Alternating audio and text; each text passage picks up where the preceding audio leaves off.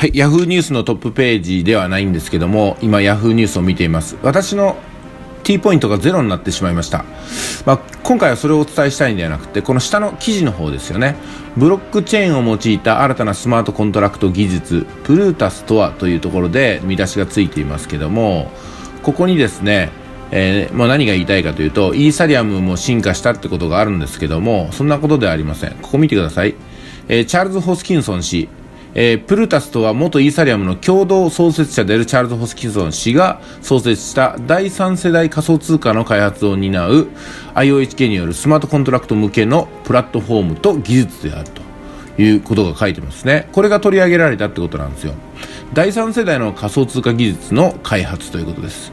えー、まあ、詳しくは記事を読んでいただきたいなと思いますけどもきちんと IOHK とかねエチオピア大学とか出てますしねスマートコントラクト。もう散々聞いた言葉でも意味は分かりますよね。でイーサリアムに代表される第2世代の仮想通貨技術では不十分であったところを補っていると、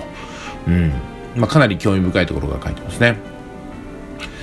その他ですねもろもろあるんですけどもここの方しっかり読んでいただくとチャールズ・ホスキンソン氏がね最後に言ってます。どのようにデジタル技術によってこれまでの取引契約のやり方を新たに構築できるかというのをプルタスで定義したいとあります。いやーやっぱすごいですね。あのずっとお話ししてましたようにチャールズ・ホスキンソンさんがあ精一杯ねこうやって世界中に語りかけてくれていて、えー、やっぱ我々の本当にね光ですね。エディンバラ大学でのブロックチェーン技術、うん、もうこれ読めば読むほど私もう感動します。今まで本当によく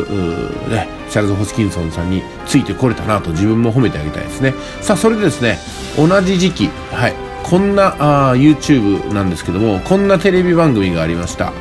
えー、国家ではなく技術が信用を担保すると。これはですね BS1 スペシャル欲望の資本主義2019最近放送されたばかりです。資本主義はどうなっていくんだろうかということで、え、語られていますけども結局これ何をね、えー、このニュースで言ってるかというともうちょっとで始まりますけどこれねかっこいい人が喋ってますよね。ブロックチェーンのことで喋ってます。ちょっと巻き戻しない早送りをしたいんですけどもよろしいでしょうか。ちょっとだけ送りますよ。はいチャールズ・ホスキンソンさんが登壇されてますよね。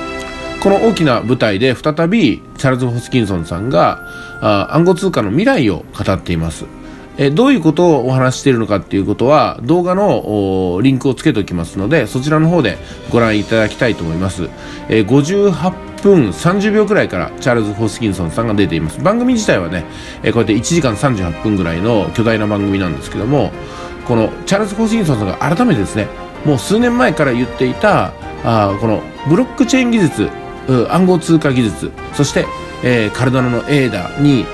かける思いとこれを一歩一歩実現してるってことをここでお話してるのがわかると思います。我々もですね、えー、いろんなもの暗号通貨あもう迷いました。あれでもない。これでもない。ICO なんではないかとかマイニングではないか、えー、でも中央にあるのがこのカルダノエーダ構想なんですよね。このカルダノの